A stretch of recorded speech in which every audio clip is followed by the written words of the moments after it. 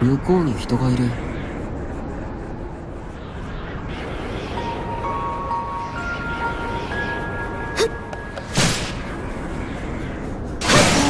ずいぶんまともになってきたじゃねえ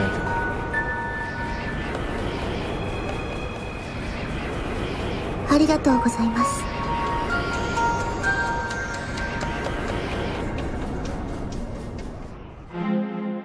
ジェネシスともう一人の女神。彼女にモンスターの相手をさせているのか。プレミアは自ら戦闘を教わりに来たけど彼女の場合はどうなんだ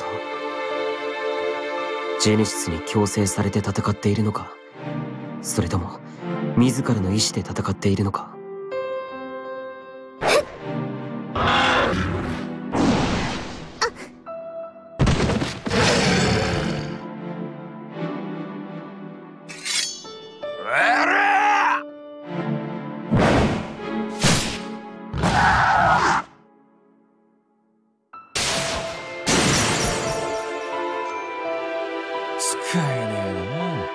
褒めたらこれかよ。ありがとうございました。いたいた。探したぜ黒の剣士。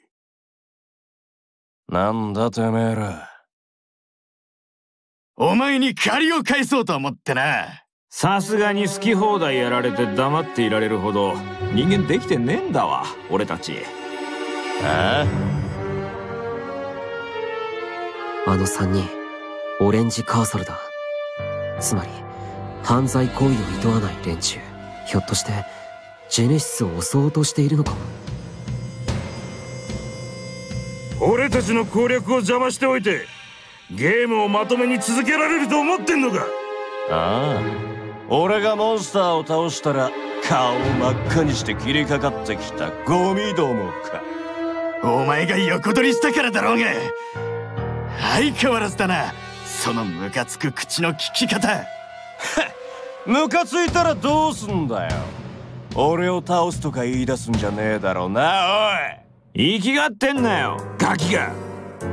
どうせでけえ態度ができるのはゲームの中だけだろ。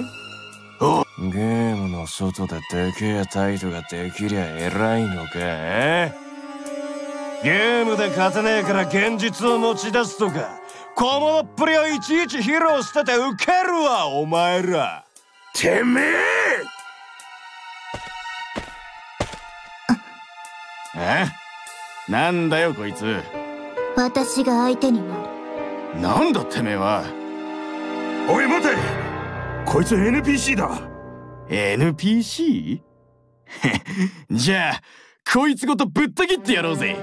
落ち着けブルーカーすらまずい。ペナルティが半端ねえんだ。NPC を盾にするなんて随分とせこい手を考えたな。戦う？戦わない？おい出直そうぜ。絶対にお前をこのゲームから追い出してやるからよ。